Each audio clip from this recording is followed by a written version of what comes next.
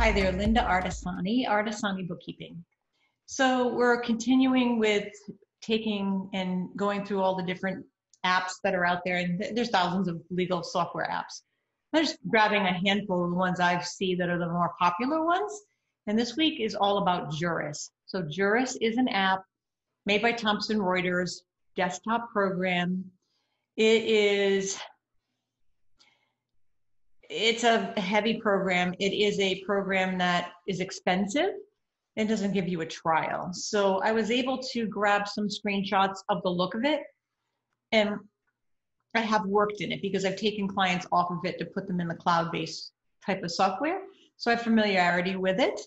It is a lot of clicks to do everything. So if you're looking for, it, it's it, it is robust. It's a full accounting platform. So you're going to get the law specific stuff. You're going to get the trust accounting. You're going to get the you're going to be able to look up case law. You're going to be able to get the calendaring. Although calendar is kind of weird. It's like a heat map kind of thing.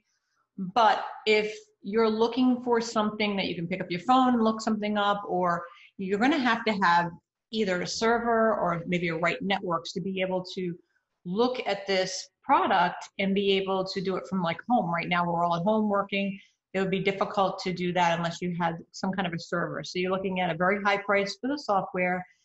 It's really not a software for a smaller firm because really out of the price point of a smaller firm like a Solo or a Solo Plus.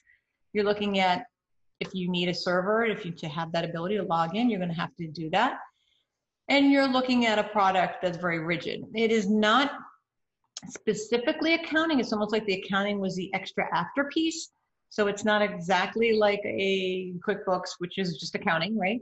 So it's it's definitely got those features to it. So let me just share my screen. It's just going to be a presentation that I'm going to show so you can see the picture of what it looks like. And it's going to look a lot like the old days back in the maybe the late 90s for software. It's got that look and there's a lot of clicks and it's got that. I'll show you. I'll just show you. So I'm going to share my screen. So I warned you it's got the desktopy look, right? So here's just a picture of a credit memo audit. So it's just a report. We're trying to go through and pull up a report. Um, this is just some pictures. You can see that the, the side view kind of looks like this. Uh, if I take you here, you can see we've got just a little snippet of where the matter looks. It, it reminds me a little bit of One-Write Plus back in the day, right? So it had this kind of look. Method begins with wildcard, select all clients. This is building out a report. So you do have the ability to really customize a lot of reports, but it doesn't have spell check. That's kind of a bad thing, right? When you're doing work, you want to look professional. If you're not a great speller, like a lot of people cannot be great at spelling, you might find that that might be a deal breaker. Uh, you can see here I've got here's my client, Fabian Construction. It's under the client and the client nickname, the matter nickname. So it's just some of the ways you can kind of go through here. And here's a little more detailed view of unpaid bills. So this is kind of your AR. It has a great AR and a great AP. So accounts receivable, accounts payable, very good. That's it. That's my whole video for this like I said, not a lot to say because I don't get a trial to look at. I obviously can't take my client's file and look at it. So I wanted you to get a little snippet view of the type of product that you'd be purchasing if you purchase Juris and get an idea of what it looks like.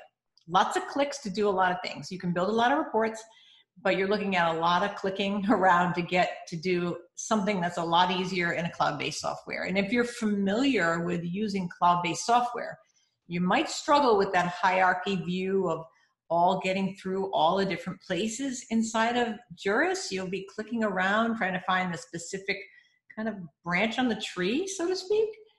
So I hope this is a little bit helpful. Obviously, not a product I'd recommend. I'm all about the cloud, all about automation, all about, all about technology, 21st century.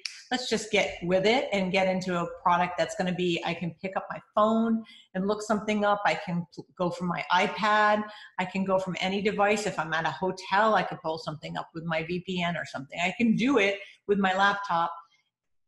You don't have that ability unless you have to log into a server, and a server has a pretty high cost.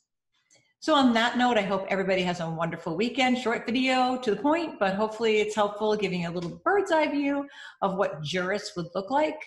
We are specialists in taking you off of these desktop products and putting you into cloud based software. So if you're interested in getting off of maybe a clunky type of program that crashes all the time, plenty of those softwares out there. The legal industry is ripe with a lot of some softwares that have been around for a long time.